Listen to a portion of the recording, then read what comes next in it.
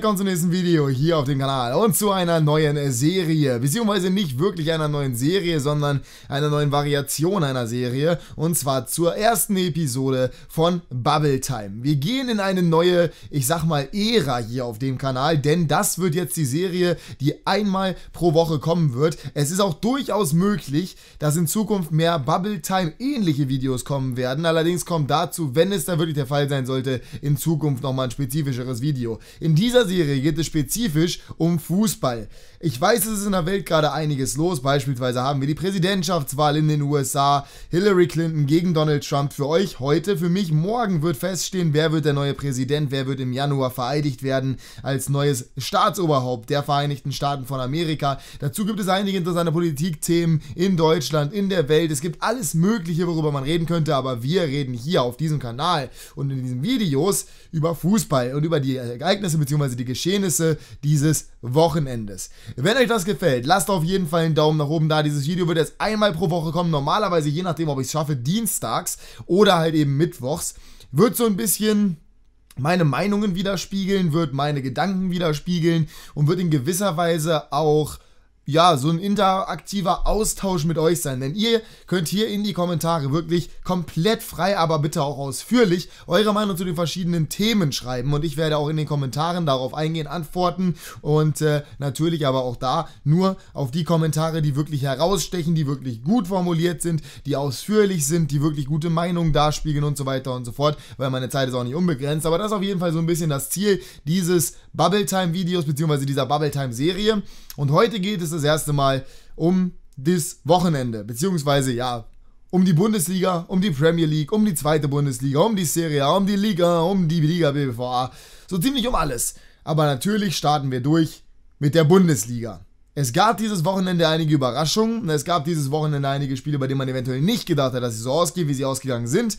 Aber es war der Fall. Und wir starten mit dem ersten Spiel und das war das Freitagabendspiel Hertha BSC Berlin zu Hause im Olympiastadion gegen Borussia Mönchengladbach. Der Champions League Teilnehmer, der zuletzt gegen Celtic Glasgow sein Problem hatte, dass sie nicht Tore schießen konnten oder wollten, je nachdem, wie man sehen möchte, gegen den Europa League Teilnehmer, der eigentlich in die Champions League wollte und sollte, kurz vor Ende der Saison gescheitert ist und dann in der Qualifikation gegen Brøndby tatsächlich noch ausgeschieden ist und dementsprechend nicht international spielt, aber die Tabelle trotzdem einigermaßen aufmischt.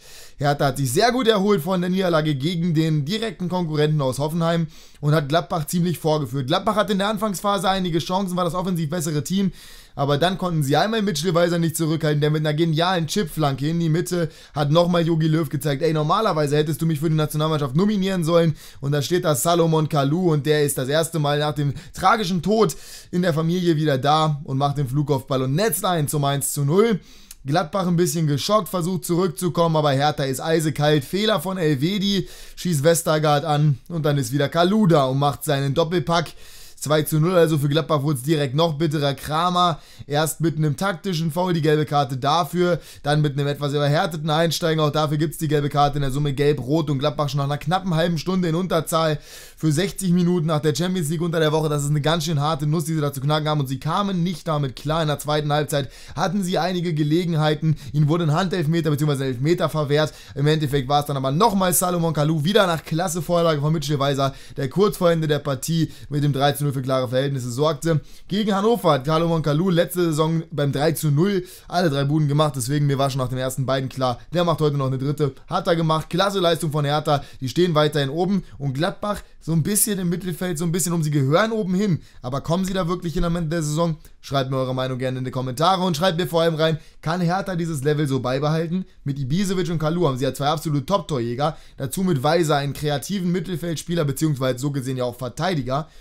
Und dazu haben sie noch eine relativ de solide Defensive, ein gutes Mittelfeld.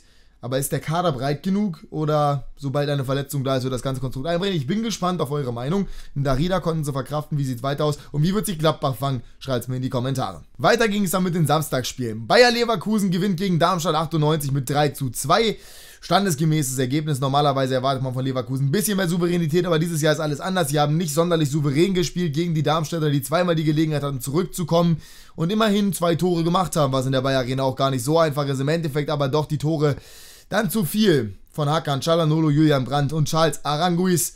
oder Arangis, eigentlich wird Arangis ausgesprochen, alle sagen Aranguis, ich weiß nicht warum. Und ja, Bayer Leverkusen gewinnt schlussendlich mit 3 zu 2 gegen Darmstadt 98, auch wenn man wirklich sagen muss, das war nicht hundertprozentig souverän. Und da fehlt es noch ein bisschen, aber sie sind wieder in der Siegerspur und Roger Schmidt hat langsam ein bisschen mehr Erfolg. Dann das wohl Topspiel des Spieltages Bayern München gegen die TSG 1899 Hoffenheim. Hoffenheim mit Julian Nagelsmann unglaublich stark dieses Jahr, nicht nur diese Saison, dieses ganze Jahr. Und auch in München mit einem sehr mutigen Auftritt und einem sehr guten Auftritt gingen in Führung durch ein absolutes Traumtor von Kerem Demir bei, in den Winkel geballert. Absolute Hashtag Thunderkant. Na, wer weiß, auf wen ich anspiele. Richtig, mein momentan Lieblings-YouTuber, muss ich ja ganz ehrlich mal so sagen. Bayern kommt aber zurück. Ein vernünftig vorgetragener Angriff. Zuba muss da wohl mehr oder weniger hingehen. Eigentor 1 zu 1. Und Bayern vergibt dann in der Schlussphase Riesenchancen, unter anderem Müller, der einfach das Tor nicht treffen will in der Liga. Und es bleibt beim 1 zu 1. Bayern ist die Saison nicht unschlagbar. Bayern ist die Saison vor allem über eine bestimmte Sache verwundbar. Und das ist Kampf und das ist Leidenschaft und das ist Mut. Wenn man mutig gegen Bayern auftritt, haben die ihre Probleme damit. Und ich bin mir nicht sicher, ob Bayern tatsächlich Meister wird. Allerdings zeigen auch andere Teams Schwächen. Borussia Dortmund zum Beispiel hat zwar standesgemäß gegen den HSV fünf Buden gemacht, aber auch zwei kassiert. Und normalerweise darfst du nicht gegen Hamburg zwei Tore kassieren. Das sind so viele, wie die ganze Saison bisher gemacht haben. Man muss dazu sagen, es war ein schrecklicher Geburtstag für Uwe Seeler, da bin ich mir relativ sicher. Die kassieren fünf Buden, die haben in der ersten Halbzeit sich komplett abschießen lassen. Das war desolat, was sie da gezeigt haben. Das war nichts, was irgendwas mit Bundesliga zu tun hat. Ich leide mit den, ich als jemand, der bekanntermaßen Hamburg nicht sonderlich gerne mag. Ich leide mit den Fans, weil das haben die einfach nicht verdient. Ihre Mannschaft so zu unterstützen, die letzten Jahre waren so schwer, man hat so viel erwartet die Saison und bisher passiert einfach nichts. Aubameyang mit einer absoluten Show, die er da abgezogen hat. Dembele hat noch getroffen und klar, Nikolai Müller macht zwei Buden. Und man kann vielleicht sagen, ja, diese eine Szene mit Gregoritsch, das hätte nicht abgepfiffen werden müssen. Aber glaubt man wirklich, dass Hamburg noch gewonnen hätte? Ich denke nicht. Und ich glaube, da gibt es momentan richtig Probleme. Der neue Sportdirektor, der gesucht wird, die Suche geht nicht wirklich voran. Bayersdorfer, man weiß nicht, soll man mit ihm weitermachen oder nicht. Die Spieler wollen teilweise alle nicht so wirklich, hat man das Gefühl. Und auch der Trainer, ich weiß nicht, Markus Gisdol, viele haben sich einiges von ihm erhofft. Ich glaube, und ich würde fast darauf wetten, es wird noch einen Trainerwechsel bei Hamburg geben. Bei Dortmund scheint es langsam zu laufen, aber die Defensive, da muss noch ein bisschen was passieren, weil zwei Tore gegen Hamburg kannst du, wenn du Meister werden willst, bei so einem Spiel eigentlich auch schon wieder nicht kassieren. Dann zwei Ergebnisse, die vielleicht einige überrascht haben, für mich aber nicht so überraschend kamen. Ingolstadt verliert zu Hause gegen Augsburg. Lange Zeit ein unglaublich langweiliges Spiel, ohne wirkliche Chancen. Es sah nach einer 0 zu 0 aus. Und in den letzten fünf Minuten bringt sich Ingolstadt um den unverdienten Lohn und kassiert noch zwei Buden durch Raúl Bobadilla, den Einwechselspieler, den paraguayischen Nationalspieler, der direkt nach seiner Rückkehr mal wieder zeigt, warum er so unglaublich wichtig für Augsburg ist. Und durch Altin Top dazu noch eine rote Karte für Levels, der da das frustvoll ein Chor begeht.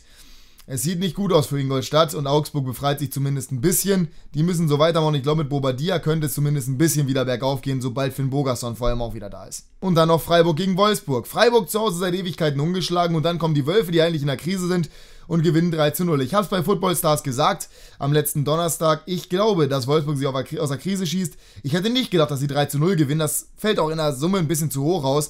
Aber nichtsdestotrotz, eine klasse Leistung, da kann man nichts gegen sagen. Richtig stark von Mario Gomez, zwei Buden gemacht. Dazu noch der Elfmeter von Ricardo Rodriguez. Rot ein bisschen zu hart in der Situation. Es gibt so gesehen keine Doppelbestrafung. Es war in meinen Augen nicht nur eine Aktion gegen den Gegner. War nicht zwingend rot, aber gut, im Endeffekt bekommt Günther die Karte. Rodriguez nutzt die Chance und ja, Wolfsburg schießt sich ein bisschen aus der Krise. Valerian Ismailowitsch, Cheftrainer, ehemaliger 96er. Ich bin gespannt, wie er sich schlagen wird bei Wolfsburg. Mit Nordclubs kennt er sich ja aus, war ja bei Bremen, bei Hannover, jetzt bei Wolfsburg. Aber ob er wirklich die richtige Lösung ist, schreibt mal in die Kommentare, was ihr darüber denkt. Ich bin mir nicht so hundertprozentig sicher, ob jemand ohne wirkliche Profitrainererfahrung der richtige Mann für die Ansprüche des VfL ist. Und dann haben wir selbstverständlich noch das Topspiel am Samstagabend. Frankfurt gegen Köln. Zwei Mannschaften im Aufwind. Allerdings sah das nicht so wirklich so aus, zumindest auf einer Seite. Frankfurt mit einem guten Spiel, 1 zu 0 gewonnen, das Ganze auch in meinen Augen ziemlich verdient. Allerdings war das, was Köln da gezeigt hat, nicht so wirklich das, was man vorher von ihm gesehen hat. Gacinovic war der Torschütze, aber von Köln kam nicht wirklich viel. Von Modest war nicht sonderlich viel zu sehen. Der war auch irgendwie ein bisschen angeschlagen, wirkte zumindest auf mich so. Und allgemein war das spielerisch nicht so stark wie in den letzten Wochen. Frankfurt ist natürlich auch unangenehm zu bespielen momentan. Die haben Selbstbewusstsein, die wissen, was sie können, die wollen auch weiter nach oben. Aber trotzdem war ich ein bisschen enttäuscht von Köln. Vielleicht so ein bisschen der Einbruch. Wir hoffen es mal jetzt nicht. Ich denke mal, Schmatke und Stöger werden die richtigen Worte finden, um die Jungs wieder aufzubauen. Nächste Woche wieder Heimspiel nach der Länderspielpause. Und ich denke mal, da wird es wieder. Und bei Frankfurt, bei Frankfurt läuft. Ich hätte sie auf den Relegationsplatz getippt, beziehungsweise ins Abstiegsrennen. Aber momentan sieht das richtig, richtig gut aus. Sonntagsspiele. Selbstverständlich dürfen wir die nicht vernachlässigen. Leipzig weiterhin im Aufwind. Das ist unglaublich. Immer noch ungeschlagen. Punktgleich mit den Bayern. 24 Punkte.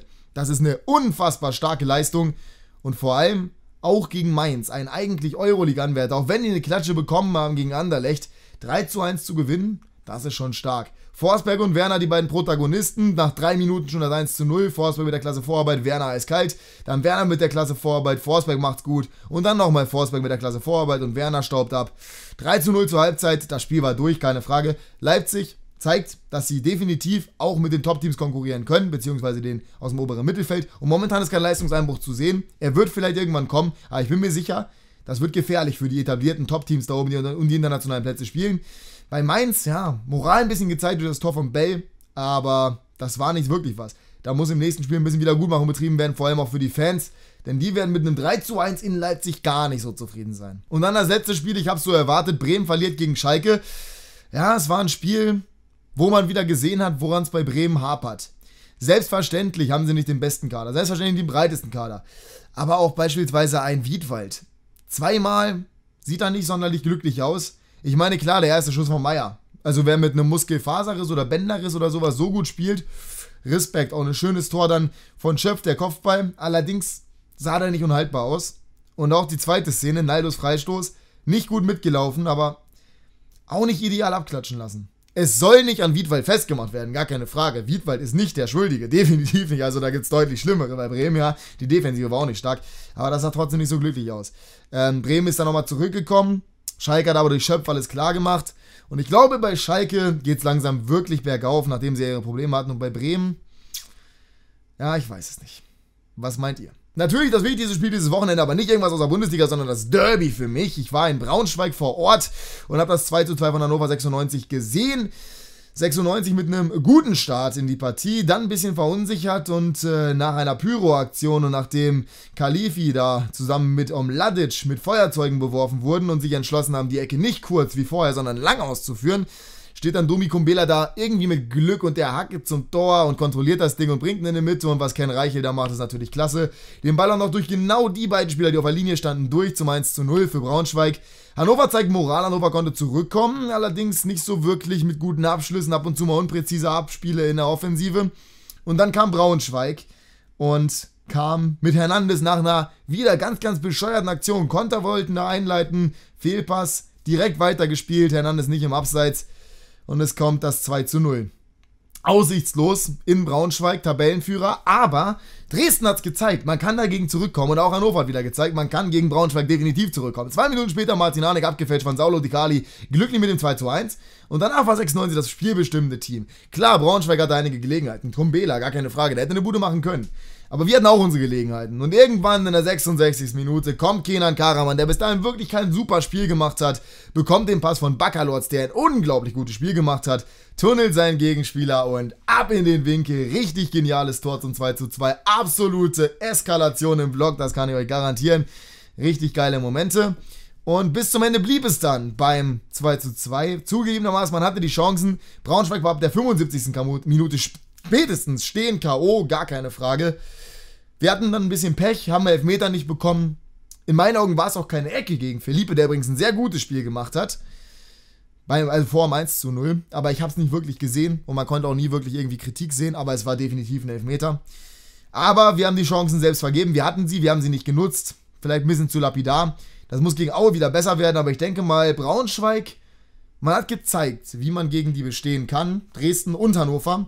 Und Hannover, ja, nicht verloren. Das ist doch gut. Und gegen Aue soll es genauso weitergehen. Für mich der Man of the Match, definitiv Martin Harnik. Er ist unser Leader und ähm, Marvin Baccalords war auch stark, aber Harnik mit seinem Tor, das war schon ziemlich, ziemlich gut und ziemlich, ziemlich wichtig, zumal zu dem Zeitpunkt der Vollpfosten des Spiels, das werde ich bei 96 jetzt immer machen, nicht Edgar Pripp, der früh gelb gesehen hat und ausgewechselt werden musste, sondern Jasmin Fasic.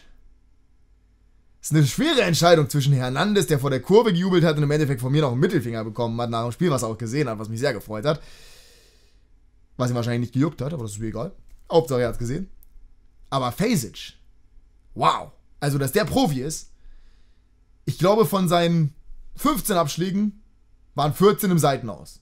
Was ist da los, Braunschweig? Giekiewicz hätte da, glaube ich, schon gerne zurück, oder? Kommen wir noch kurz zur Premier League und zu den anderen Ligen. Real Madrid gewinnt standesgemäß 3 zu 0. Nizza mit der ersten Niederlage. Brechen sie ein. Ich hoffe und glaube nicht. Ich glaube, das war gegen Cannes nur ein Ausrutscher. Der schlafende Riese Europas, Milan, gewinnt erneut durch ein Tor von Lapadula ganz, ganz spät. Dazu kommt Barcelona, die 2-1 gegen Sevilla gewinnen. Man United gewinnt gegen Swansea. Man City fängt sich einen unglaublich dummen Ausgleich in der 90. Minute gegen Middlesbrough und steht dementsprechend nicht mehr ganz so gut da.